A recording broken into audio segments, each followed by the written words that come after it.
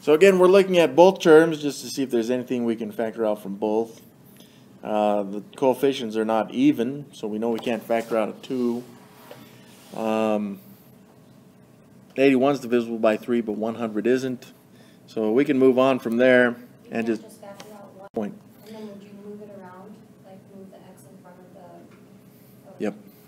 I can factor out an x from both these terms, which leaves me with an 81 minus 100. I still have some x's with that 100, but I've only got three of them because I factored out one of the x's. And that's a really good question on this is, so why, why don't we rearrange this one? Because if we do, it's not going to make any difference.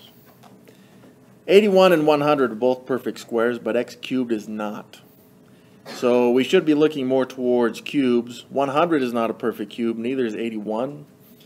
So we don't have any perfect squares or perfect cubes left over in this thing.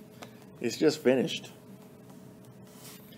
So now if we could, we may look to rearrange them, but um, that's going to change a lot of stuff, right?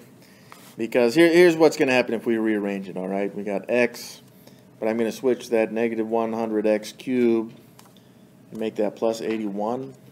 But we don't usually like that leading coefficient to be negative in any binomial or trinomial or polynomial, really. So we are going to have to factor out a negative and make this an x. So that gives me 100x cubed, but now it's minus minus 81. So that's a good point on a test, just if you want it in descending order, I'm okay with that. And so I'm saying either one of these would work. Just be careful because you do have to pull out that negative.